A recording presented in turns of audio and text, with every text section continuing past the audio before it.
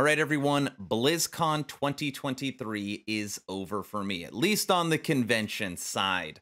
Really was looking forward to the campfire chat today, was able to sit row two to watch it live, and it was a really cool experience. I was happy about a lot of the stuff I heard, and then I wasn't disappointed in anything I heard. I was just hoping to hear more.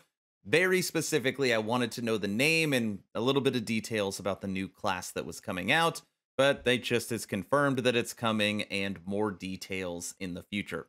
So that was a little disappointing. But overall, BlizzCon as a whole met a lot of great people, got a lot of great experiences, and it was a fun time, which I'm sure nobody is surprised by that.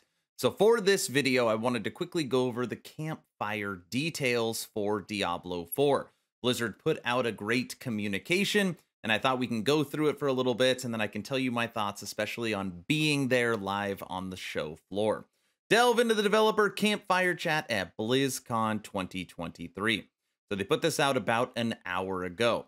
Now, they went into details on Diablo 4's first expansion, the Vessel of Hatred. And basically, we're going to be back in the jungle and we're going to be fighting Mephisto.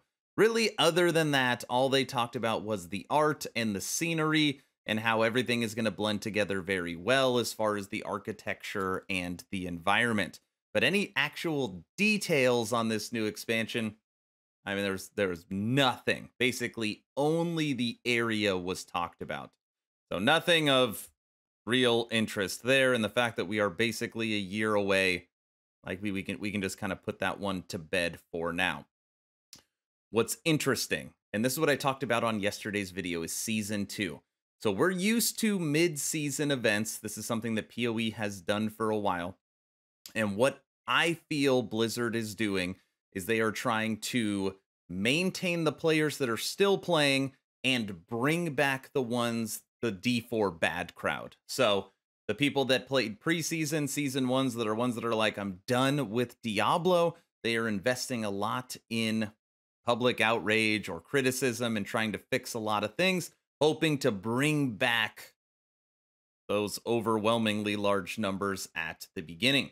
So, what are they doing? So, we are getting new malignant rings and we are getting a brand new pinnacle fight within this season. And they went into details on those, starting with the new malignant rings. And these rings are very powerful. So Varshan is going to be the boss that drops these, and Varshan, I think I've I don't know, I've fought in a hundred times. So I'm hoping that it's going to be easy to acquire these rings, and they have a lot of powerful attributes. Now, me, as somebody that loves Barbarian, we'll just talk Barbarian for a second. Specifically, overpower Ring of Red Furor.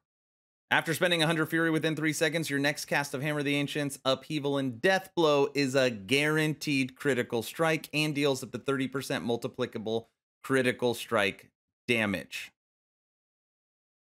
Yeah, I really, really want that. Seriously, so awesome. So, I think the idea behind this, and just follow me for a second, is these are only going to be in the game for the final month of the season. So whether they're crazy overpowered, whether they're fun and you're just a devastator, who cares because they, because they could just take them out for season 3. But basically the idea I think is you're going to need this power from this ring for this new boss fight. And do they have a picture? Oh yeah. So this new boss, oh it's down here. Let me show you. Mm, we're going to jump past that right here. So this new Zir boss fight is going to be 25 different levels. And every single time you defeat it, it gets way harder. And they are saying that once you finish the season journey, you will unlock this. And basically, you're level 100, you have finished the season's journey, you are an S tier build with min maxed gear. You can go through this true pinnacle content to unlock a blood glyph that gives you crazy damage multipliers up to 200%. So we have been screaming for Pinnacle end-to-end game content, and they are delivering it inside of Season 2. So what you want to do in preparation for this, at least that's what I am doing, is I am rebuilding my overpowered HOTA Barb, and on Tuesday I am going to farm this new ring, And then once that happens, I'm going to sit back and wait for this challenge to be available to see if my build has what it takes. So we will have to just wait and see. On top of that, they showcased the Midwinter Blight. And this is basically a December holiday event. And you're going to be able to go into Frozen Peaks and you're going to be able to fight a lot of these enemies. And in doing so, you're going to get a special currency where you can get some cosmetic rewards. So, inside of season two, and again, I said this yesterday, they gave us a training dummy they are updating the enchanting system to make it feel a little bit more like a crafting experience. We're getting this winter season event. We're getting pinnacle content and we are getting malignant rings. You, you could hate Blizzard all you want. You could say, ah, oh, that I'm still not coming back. But I mean, at least an A for effort for trying to bring people back to season two. I mean, I am going to for sure hunt my barbarian ring, and I'm for sure going to see if my build what has what it takes to get through all 25 tiers. So at least that is my goal. Also, what they showed today, or at least was announced today, is the patch notes for what's coming November 7th. So again, this coming Tuesday is when we are going to have these new rings in the game. So you're going to have the malignant rings actually drop you can go get them. And I don't know. I can't tell specifically, but I'm pretty sure Druid got the worst ring. I'm not sure because it does have a willpower percent on it. And normally you can only get percent to core affix on an amulet. So now with this ring for Druid, you can get percent to willpower and percent to willpower on your amulet. That's pretty crazy. But the pull-in effect and then damage explosion, I don't know if it's going to be as good. But the rings look awesome.